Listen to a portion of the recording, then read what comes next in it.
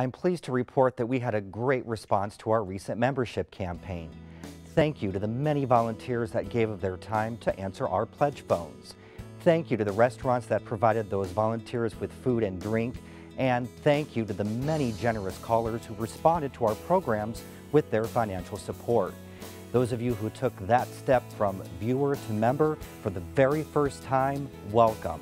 And to those who share the mission of public television year after year, your continued generosity is very much appreciated. If you opted to become a sustaining member of WTIU, please watch the mail for your authorization form. The sooner you sign and return it, the sooner your member benefits can begin. If you missed the campaign, it's never too late to support a cause you believe in.